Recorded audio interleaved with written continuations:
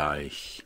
Ach ja, äh, Lirum, Larum, Löffelstiel, alte Weiber essen viel, Junge müssen fasten, Brot in den... Die Kamera läuft ja bereits. Na ja, beabsichtigt, ehrlich gesagt. Keine Bange. Ich lade jetzt nicht etwa zum Stuhlkreis ein in den Parkinson- oder Behinderten Kleinkindergarten. Und ich will auch nicht irgendwie einen Beitrag machen zur Fastenzeit für alte oder junge Weiber. Nein, nein, nein. Das Lied geht mir nur gerade nicht aus dem Kopf und äh, es geht da um eine gewisse, naja, Namensähnlichkeit. Raten Sie mal. Lirum Larum? Ja klar, es geht mal wieder um die Lierhaus. Lierhaus. Lirum Larum. Äh, albern, ich weiß. Äh, mal im Ernst. Sie kennen doch die Lierhaus, Monika Lierhaus. Das ist die mit der selbst erteilten Lizenz zum Gelddrucken. Sie erinnern sich.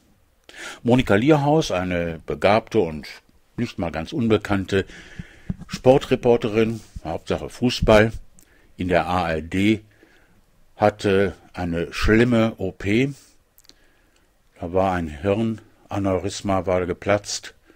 Danach einige Monate im Koma, langsam wieder hochgekrabbelt, aber schwer behindert.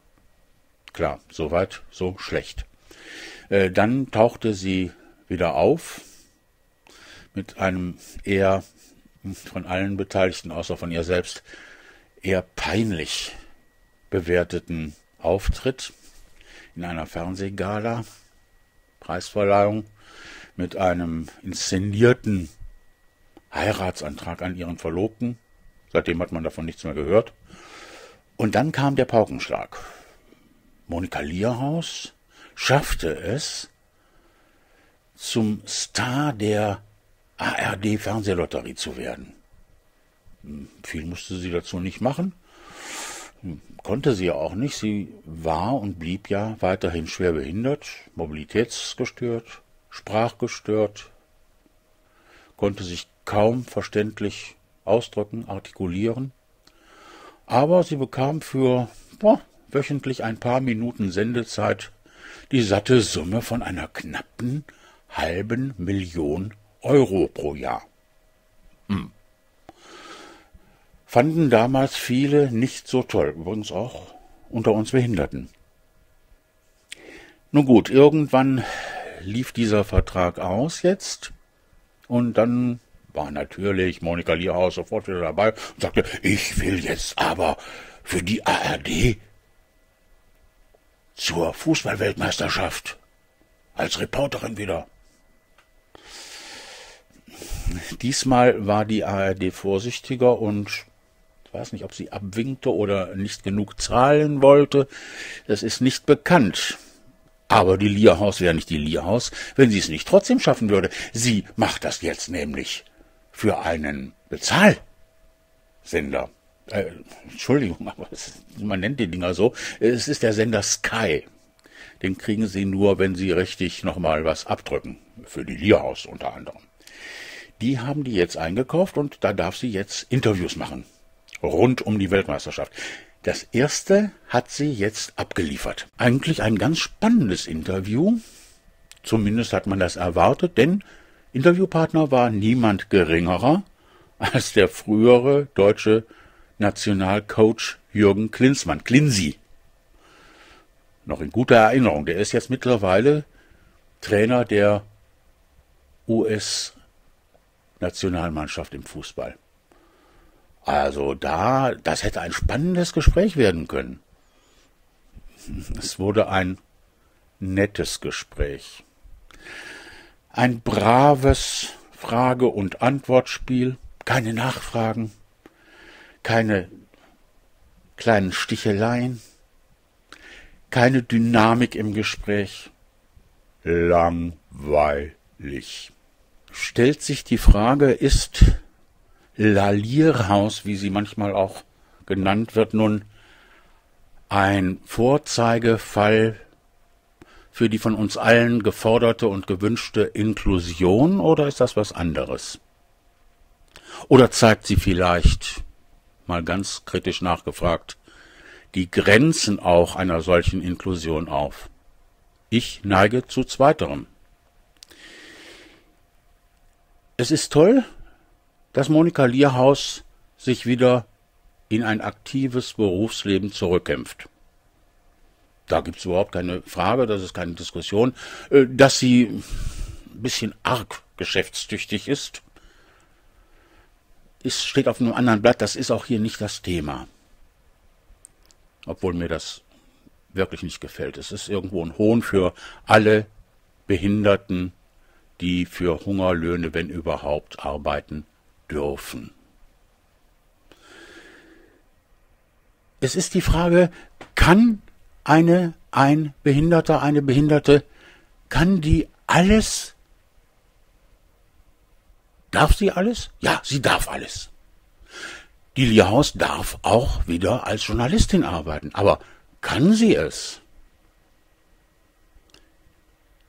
Ich behaupte, wenn überhaupt, dann nur sehr eingeschränkt. Es gibt zahlreiche Fälle mittlerweile, auch im deutschen Fernsehen, in der Fernsehlandschaft, wo Behinderte einen hervorragenden Job machen. Hochprofessionell, ohne Arme zum Beispiel, sonst wie behindert. Aber ein bisschen was gehört nun mal zu den elektronischen Medien dazu, ob das nun Radio oder Fernsehen ist. Und das ist vor allem Konzentrationsfähigkeit bis zum geht nicht mehr, es ist ein Stressjob, der alles mental abverlangt und natürlich die Fähigkeit zu sprechen. Es ist nun mal ein sprechendes Medium. Beides ist bei Behinderten wie Monika Lierhaus nicht mehr gegeben. Sie hat das in ihrem ersten Interview jetzt mit dem Klinsmann deutlich gezeigt. Sie ist auf Nummer sicher gegangen, hat ein braves Frage-Antwort-Spielchen gemacht, das ich einem Berufsanfänger vielleicht noch irgendwo durchgehen lasse, was ihn aber bestimmt nicht zu einer weiteren Karriere in dem Job befähigt. Und mit ihrer Sprache ist es auch nicht weit her.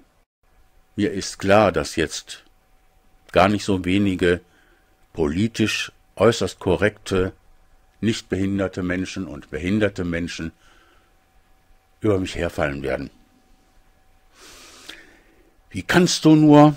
Behinderte dürfen alles, können alles. Nein. Behinderung heißt eben auch behindert sein in einigen Fähigkeiten. Und da sind manche Berufe dann eben so nicht mehr machbar. Ich selbst bin ein Beispiel dafür.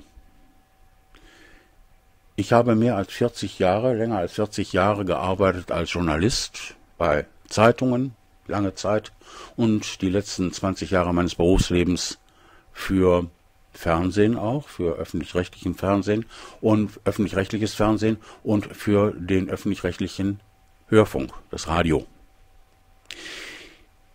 Ich habe bereits bevor meine chronische Erkrankung an Parkinson diagnostiziert wurde, in den letzten ein, zwei Jahren meiner Tätigkeit dort festgestellt, dass ich sprachlich noch relativ gut drauf war, aber dass zum Beispiel meine mentale Leistungsfähigkeit stark nachließ.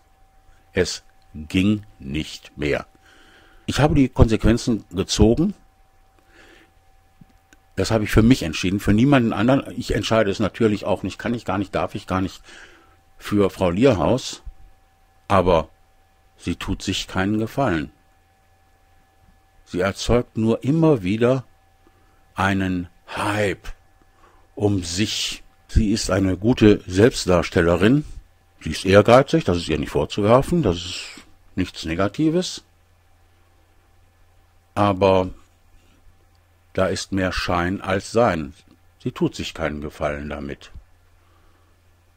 Da bleibt allenfalls noch ein sehr hochbezahlter Mitleidsbonus. Uns Behinderten tut sie ganz bestimmt keinen Gefallen. Da gibt es andere, bessere Beispiele, auch und gerade in den Medien. Liebe Monika Lierhaus, mein Wunsch an Sie, finden Sie zu sich selbst zurück, finden Sie die wirklichen Fähigkeiten, die Ihnen noch geblieben sind, das ist eine Menge mit Sicherheit, aber das ist nicht